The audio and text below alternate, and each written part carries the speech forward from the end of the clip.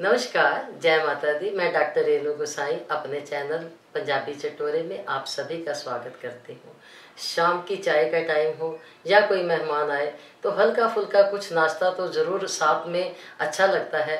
तो आज हम बिल्कुल पंजाबी स्टाइल से आपको मट्ठी बनानी सिखाएँगे। तो चलिए शुरू करते हैं अपनी क्रिस्पी मट्ठी की रेसिपी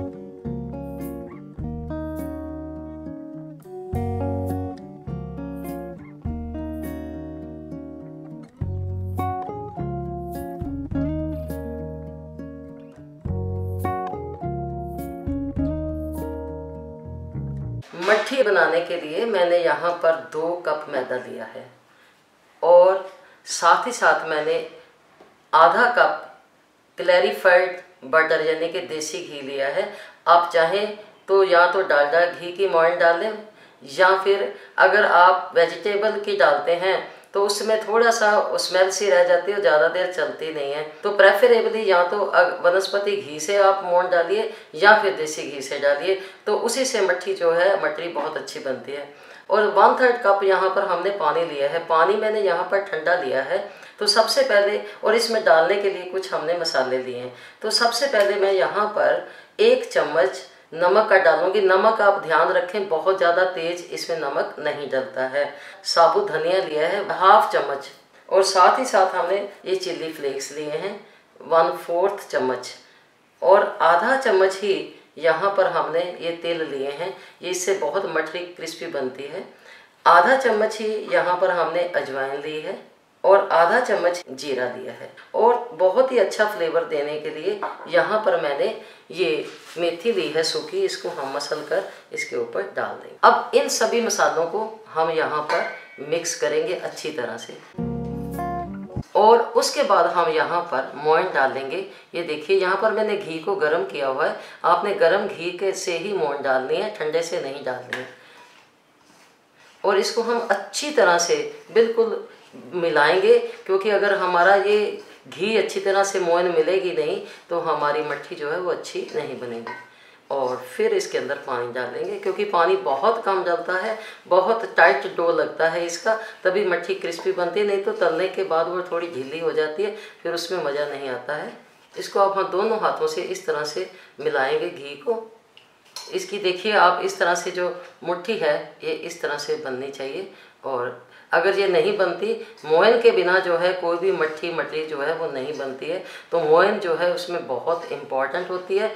उसको मिक्स करना बहुत इंपॉर्टेंट होता है कि बीच में कोई गुठली नहीं रहनी चाहिए। और अब हम इसको थोड़ा थोड़ा पानी लेकर इसको गूँथेंगे। बहुत ही थोड़ा पानी लेना है, क्योंकि पानी की ज़रूरत कम पड़ती है। आटा हमने बहुत ही टाइट लगाना है।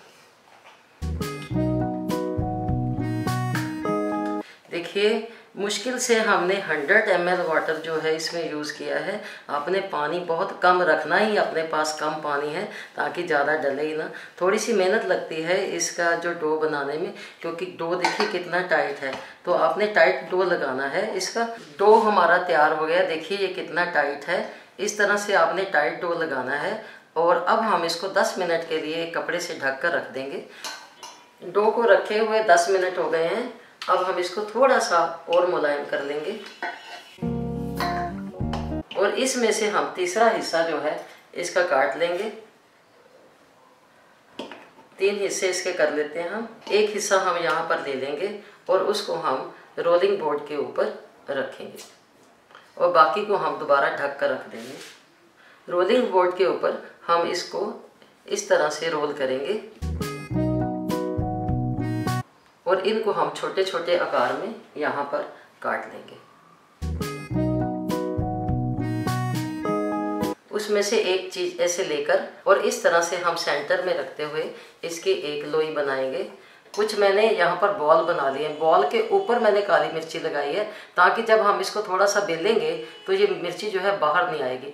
ये जो मट्ठी है हमारी, ये पंजाबियों की खास भाजी की मट्ठी है। शादी, किसी भी शादी के अंदर कोई भी शादी हमारे यहाँ पूरी नहीं होती, जब तक जो भाजी है, वो ना आए और उसको बहुत ज़्यादा पसंद किया जाता है। और तो अब हम इस तरह से इसको यहाँ पर रोलिंग बोर्ड के ऊपर इस बॉल को हम हल्का हल्का बेल देंगे। इसको हमने बहुत पतला नहीं करना है, क्योंकि ज़्यादा पतला किया तो इसमें क्योंकि मोन ज़्यादा होती है और वो इसके फटने का डर रहता है। इसलिए इस बात का ध्यान रखें कि इसको हल्का सा हम मोटा रखेंगे। पतली मट्ठी जो है, वो थोड़ी और तरीके से बनती है, वो भी मैं आपके साथ शेयर करूँगी। अभी तो ये हमारी स्पेशल भाजी की मट्ठी है, जो आपको डिब्बों में आती है और आप सारे उसको पसंद करते हैं। ये डो से हमने ये मट्ठियाँ बेल दी हैं तो सबसे पहले हम घी को गर्म करेंगे। मट्ठी को तलने के लिए मैंने यहाँ पर भारी तले वाली कढ़ाई में ऑयल जो है गर्म कर लिया है। अब हमने मट्ठी को जो तलना है, वो बहुत ही धीमी आँच पर तलना है। तो ये हम पहले चेक करेंगे और जरा सा हम यहाँ पर इसका ये डाल कर देखते हैं। अब अगर एकदम ये ऊपर आ जाता है तो इसका मतलब ये है कि हमारा तेल अभी गर्म है। तो हम इसकी थोड़ी वेट करेंगे कि ये थोड़ा ठंडा हो जाए, क्योंकि ये एकदम से ऊपर आ गया। इतनी जल्दी ये ऊपर नहीं आना चाहिए। तो थोड़ा सा ये ठंडा हो जाए तेल तो उसके बाद जो है इसके अंदर हम अपनी मट्ठी डालेंगे हम एक एक करके आँच हमने बिल्कुल धीमी कर दी है। आप इस बात का ध्यान रखें कि आप आँच को बिल्कुल जो है धीमा रखेंगे। अगर ये तेज रहेगी तो आपकी मट्ठी जो है वो अंदर से कच्ची रह जाएगी। तो हम एक एक करके इसमें मट्ठी डालते जाएँगे।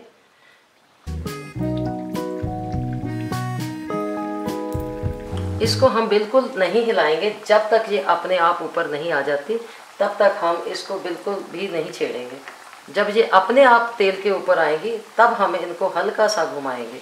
अगर हम इनको बार बार अभी छेड़ देंगे तो ये अंदर टूट जाएगी। देखिए, ये धीरे धीरे अब अपने आप ऊपर आ रही हैं। अब देखिए, सारी मट्ठी हम धीरे धीरे ऊपर आ गई हैं। अब हम हल्का सा ऑयल से मतलब मट्ठी को नहीं हिलाएँगे ऑयल से बस थोड़ा सा हम ऑयल को ऐसे चेंज करेंगे, ताकि जो कोई नीचे रह गई है, उसको भी स्पेस मिल जाए ऊपर आने के लिए।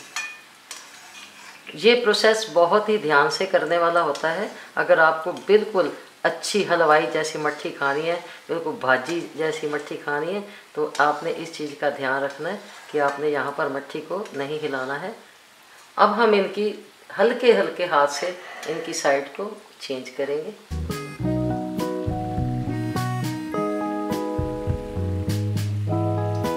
और जब तक ये गुलाबी नहीं हो जाती, तब तक हम इनको फ्राई करेंगे, लेकिन बिल्कुल धीमी आँच पर ही। अब हमने इनकी साइड चेंज कर दी है। धीमी आँच पर तलते हुए देखिए, हमें 10 मिनट हो गए हैं। अब आप देखिए ये हल्की हल्की गुलाबी हो रही है। अभी हम इनको थोड़ा सा और गुलाबी करेंगे। हमने इनको ब्राउन नहीं करना। अगर मट्ठी बहुत ज़्यादा ब्राउन हो जाएगी तो उसका टेस्ट टेस्ट जो है वो कड़वा हो जाता है। और अब ये बिल्कुल दो तीन मिनट हम इनको और पकाएँगे। थोड़ी सी पेशेंस चाहिए मट्ठी को बनाने के लिए। एक बार आप बनाकर रख लेंगे तो आप कई दिन खा सकते हैं, क्योंकि इसके अंदर मोइन भी हमने देसी घी की डाली है। तलने के लिए आप कोई भी ऑयल ले सकते हैं, जैसा आपकी मर्ज़ी। है मट्ठी हमारी देखिए गुलाबी हो गई है, बिल्कुल धीमी आँच पर पकते हुए। अब हम इनको निकाल लेंगे प्लेट के अंदर। नैपकिन लगाकर निकाल लें या आप किसी छलनी में निकाल लें।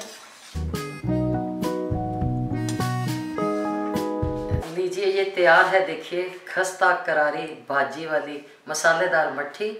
और लेकिन अभी ये बहुत गर्म है, जब तक ये ठंडी ना हो जाए, तब तक आप इसको स्टोर नहीं करेंगे। तो पहले इसको बिल्कुल रूम टेम्परेचर पर आकर जब ये ठंडी हो जाएगी, उसके बाद आप किसी भी इसको एयर टाइट कंटेनर के अंदर, डिब्बे के अंदर डालकर रख सकते हैं और काफ़ी दिन तक जो है आप इसको इंजॉय कर सकते हैं। अभी मैं आपको जो ठंडी है मठी एक मैं तोड़ कर दिखाती हूँ। ये देखिए ये कितनी खस्ता है आप देखिए, अंदर से भी। और इसमें जो साबुत धनिया है, इसका इतना क्रिस्पी टेस्ट आता है इसके अंदर। आप इसको इसी तरह से बनाइएगा, डो बनाने में थोड़ा सा ध्यान रखिएगा, मोइन डालने का थोड़ा सा ध्यान रखिएगा, और बहुत ही लाजवाब। और उसको बनाकर आप कितने दिन तक रख सकते हैं, और दिवाली भी आने वाली है तो मेहमानों को खिलाने के भी काम आएगा। तो इसको ज़रूर बनाइएगा, रेसिपी पसंद आए तो इसको लाइक कीजिएगा, शेयर कीजिएगा, और मेरे चैनल को सब्सक्राइब कीजिएगा। धन्यवाद।